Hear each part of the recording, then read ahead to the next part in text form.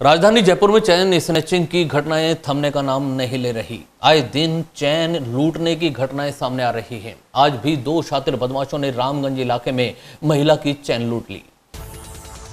मंडी खटिकान के मालियों के मोहल्ला निवासी प्रेम देवी के गले पर झपट्टा मारकर समाज कंटक चैन लूट कर ले गए। इतना ही नहीं, चैन लूटने के बाद बदमाशों ने प्रेम देवी के कानों में पहने हुए झुमकों पर भी झपट्टा मारा। इससे महिला के कानों में से खून निकल आया। सूचना मिलने पर रामगंज पुलिस घटनास्थल पर पहुँची और साथ में इलाके में नाकेबंदी भी करवाई गई। पुलिस ने दो संदिग्ध बदमाशों को हिरासत में लिया और फ़िलहाल उनसे पूछताछ की जा रही है।